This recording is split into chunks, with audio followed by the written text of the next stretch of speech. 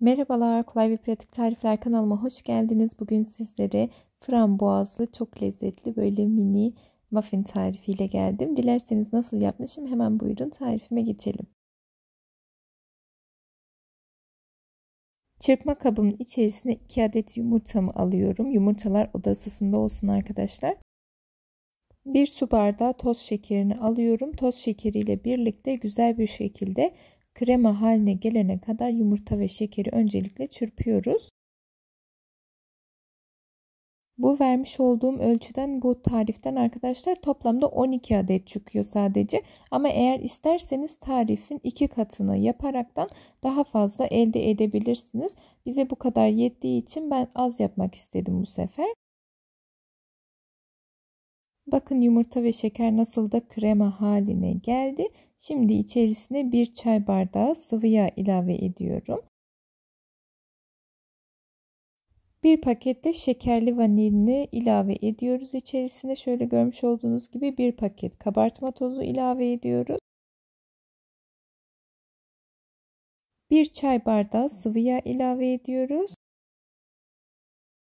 Bir buçuk su bardağı un ilave ediyorum içerisine ama her zaman demiş olduğum gibi ununuzu böyle biraz kontrollü bir şekilde ilave edin. Daha sonrasında kıvamına bakarak tekrardan ilave edebilirsiniz.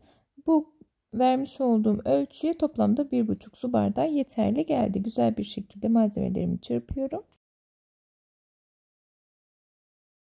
Şöyle görmüş olduğunuz gibi muffin kalıplarımı hazırladım. İçine böyle bir yemek kaşığı kadar hepsine güzel bir şekilde dağıtıyorum. Üzerlerine böyle birer ikişer tane şöyle görmüş olduğunuz gibi frambuaz yerleştiriyorum. Benim elimde buzlukta olanından vardı. Eğer isterseniz elinizde varsa taze de kullanabilirsiniz.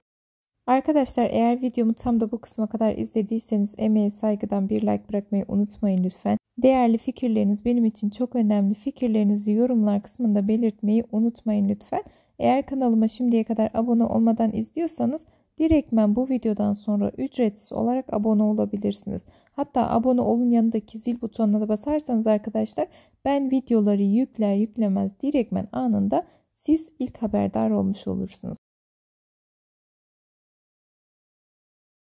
Muffinlerimiz artık fırına gitmeye hazır. Önceden ısıtılmış 180 derecelik fırında 20 dakika kadar pişmeye gönderiyorum. Piştikten sonra kürdanla kontrol edip daha sonrasında çıkartacağım. Eğer kürdanınız temiz çıkıyorsa muffinler pişmiş demektir.